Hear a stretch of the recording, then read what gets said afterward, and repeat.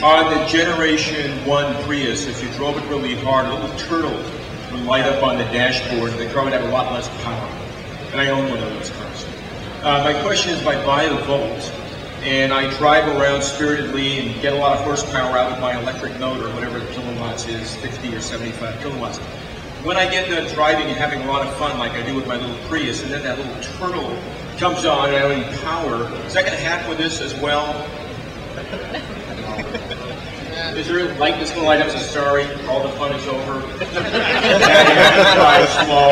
Is that, looking at your design, one would think that might happen. I don't know what your state of charge will get to, but I think on the Prius it's about 30% state of charge. I start at 65 or 70. When I get down to 30, I'm all. Fun's over.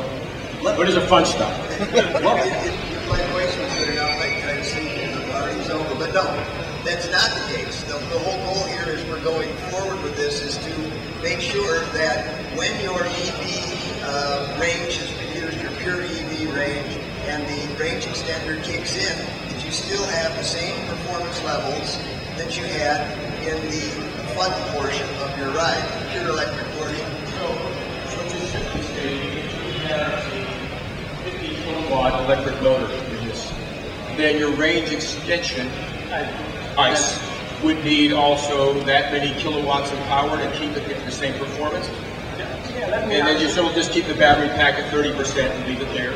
I, I can guarantee you this vehicle will be a very predictable vehicle in all aspects. But when you talk about 50 kilowatts, the Volt will have 120 kilowatts of peak power, acceleration 0 to 60 in 9 seconds.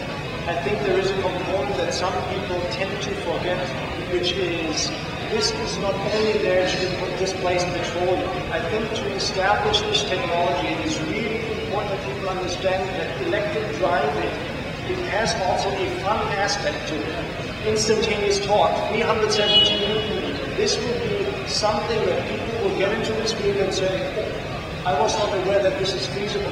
It is like diesel engines in Europe. Immediately they have this torque and they make a lot of noise. This will have all the torque, it makes no noise. This is the kind of excitement we talk about. People will see that electric propulsion is just a whole different world and so I call this for myself, this is this fun to eco drive. It is, I think fun and eco work together in this particular case. What we will ensure this is to this point, whether you are using your battery or a charge sustaining the vehicle will always have the, always be the different Here we go. My name is George Kalkas. Uh, my wife and I drove in from Chicago. Uh, first of all, I think on behalf of everybody here, I want to thank people who work on this team for doing what you're doing. This is the most exciting car I have ever heard of. Thank you very much.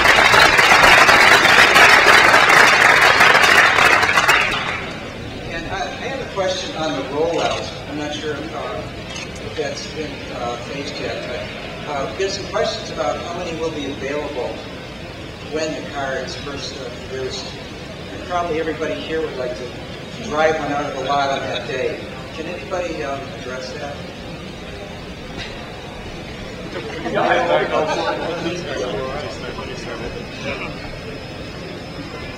As uh, many of you know, along with the development of the car, there's the business strategy that has to be developed. That's why Ed is with us relative to how important is the ready to market, because this will be marketed and, and introduced in a very different manner. For, with many of you, I've talked a little bit about how ready the electrical infrastructure has to be, education, technical training, our suppliers, et cetera, et cetera. Right now, we are looking at a number of different alternatives and scenarios.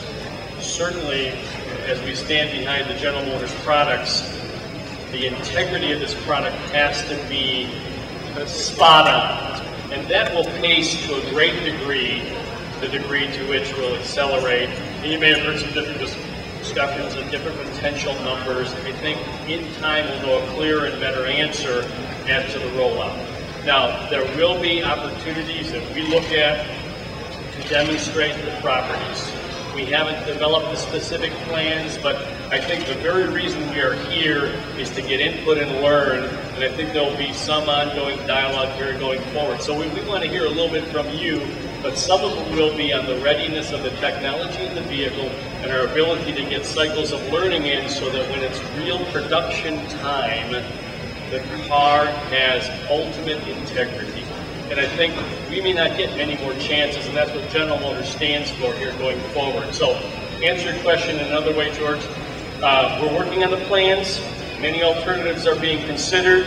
I think that's a subject for future dialogue here going forward. The other thing I would add is, um, I, I think, Lyle, you've been generating interest, obviously, with the folks, you know, on your website. And I think there are a lot of folks who are ready to sign up, you know, for the technology, so as we let you know and we roll out more information, uh, and we, we get signups and people are interested enough to want to put a deposit down and do a lot of these different things. That's obviously, there you go. Ironically, sold.